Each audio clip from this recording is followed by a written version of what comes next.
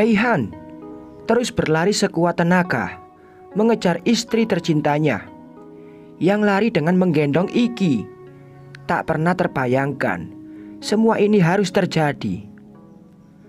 Akankah Nisa mau mendengarkan penjelasannya atau justru memilih pergi? Sayang, tunggu! Teriak Raihan seraya menambah kecepatan larinya. Nisa justru semakin berlari begitu cepat.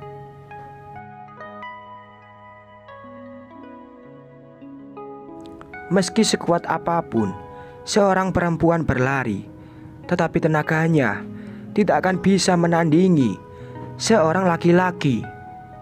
Raihan berhasil menggapai tangan sang istri dan langsung memeluknya dari belakang.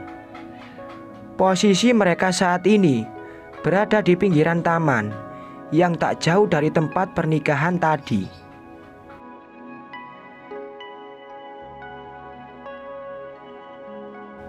Nisa terus memberontak agar dilepaskan. Tangis pun semakin pecah. Tak bisa dipungkiri, rasa sakit di hati masih membekas. Apa yang tak ia harapkan harus terjadi. Dengerin Mas dulu, yang pinta Raihan semakin mempererat pelukannya.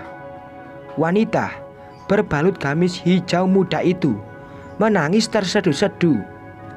Bayi kecil itu ikut menangis, seolah mewakili perasaan hancur sang ibu. Memang benar kata pepatah, naluri seorang ibu begitu kuat. Lepas, Nisa gak mau dengerin penjelasan Mas lagi. Sudah cukup dengan apa yang Nisa lihat tadi. Itu sudah menjadi bukti. Kenapa kamu melakukan ini, Mas? Teriak Nisa yang semakin kuat mendorong tubuh sang suami. Meski sulit, terlebih ia juga tengah menggendong sang buah hati yang sedari tadi tak berhenti menangis.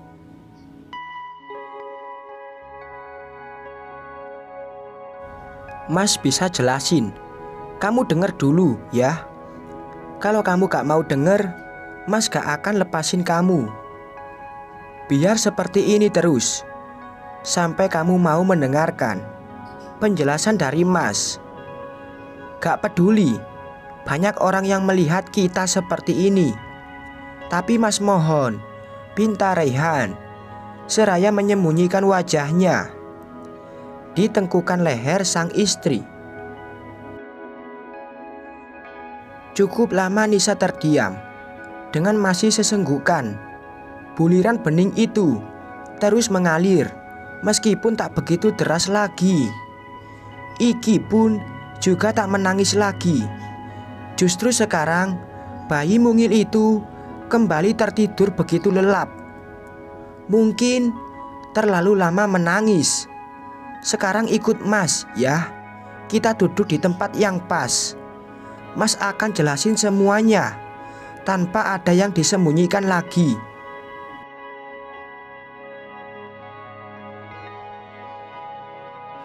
Ayo, Raihan melepaskan pelukan dan menarik lembut tangan wanita yang telah mendampinginya. Nisa masih bergeming, tak sepatah kata apa pun keluar dari mulutnya. Hanya tersisa buliran yang ada di sudut kelopak mata.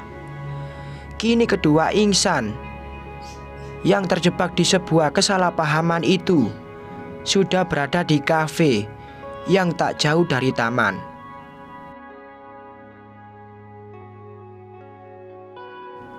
Lebih tepatnya, Nisa yang saat ini tengah salah paham. Raihan menatap lekat nan sendu wajah sang istri yang menunduk. Lelaki tampan itu duduk bersampingan, seraya mengusap lembut pipi mungil sang buah hati. Mas memang mengaku salah, tapi ini semua bukan semata-mata tanpa alasan. Jadi, Mas mohon, kamu dengerin ya. Jangan potong penjelasan Mas dulu. Ya, sayang. Nisa mengangguk dengan wajah yang enggan menatap. Manik sang suami. Ia masih cukup terluka menyaksikan lelaki yang sangat ia cintai hendak menikah lagi.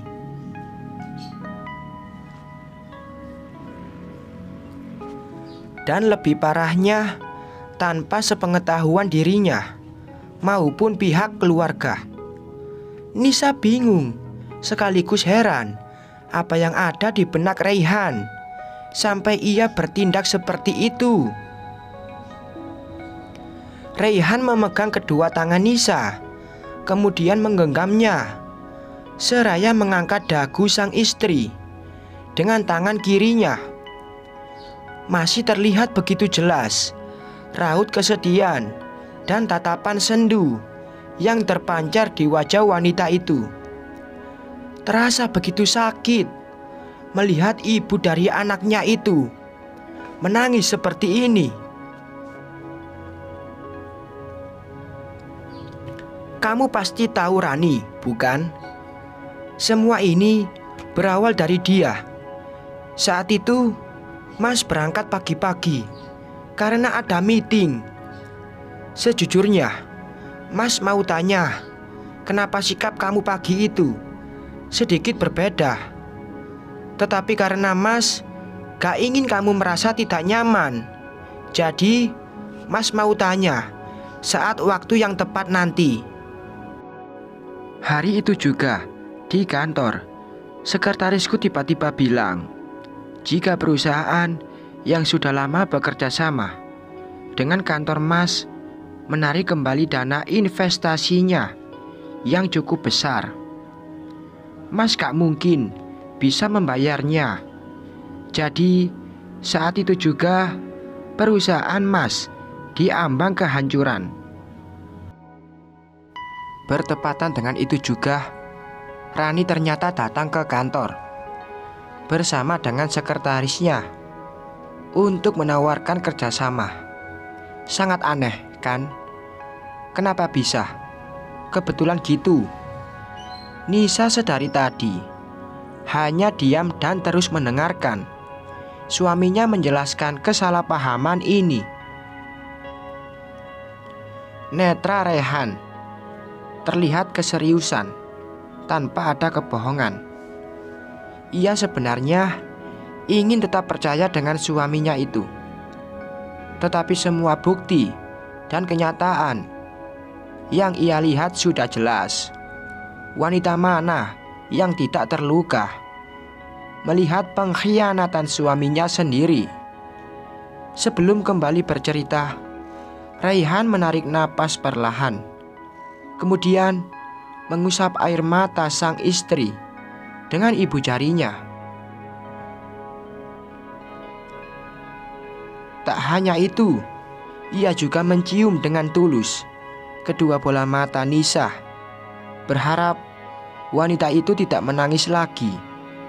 Setelahnya, lelaki dengan rambut hitam legam itu kembali melanjutkan penjelasannya.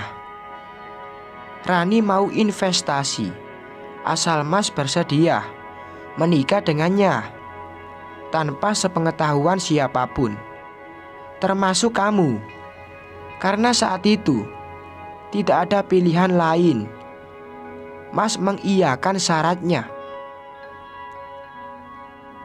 tapi jujur, jauh di lubuk hatiku, tidak ada sedikit pun niatan untuk bermain api di belakang kamu.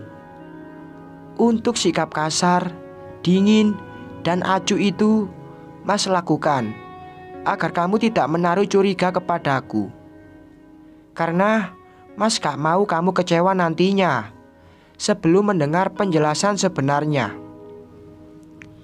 Tapi dua hari sebelum hari pernikahan, Mas dengan Rani, Mas menemukan flash disk yang ternyata berisi sebuah rencana licik yang Rani perbuat.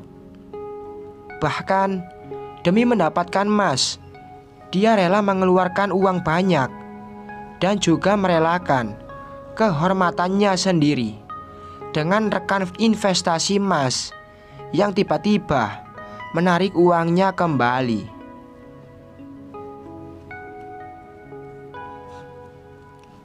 Setelah itu, Mas lapor polisi, dan akhirnya pas hari H itu, dia ditangkap polisi.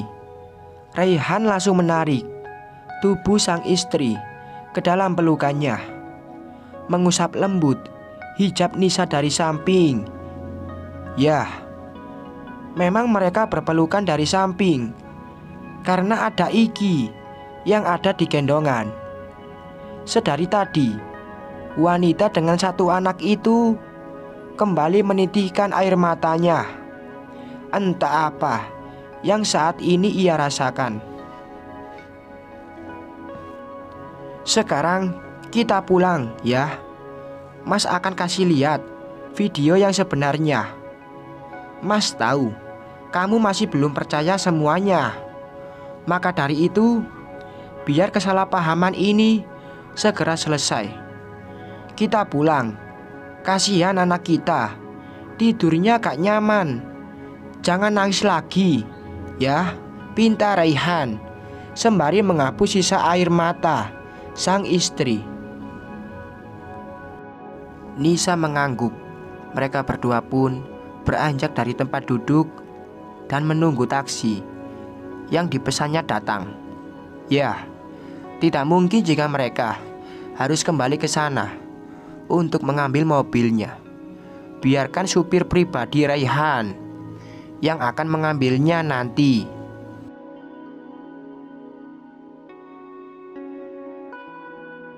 Bersambung.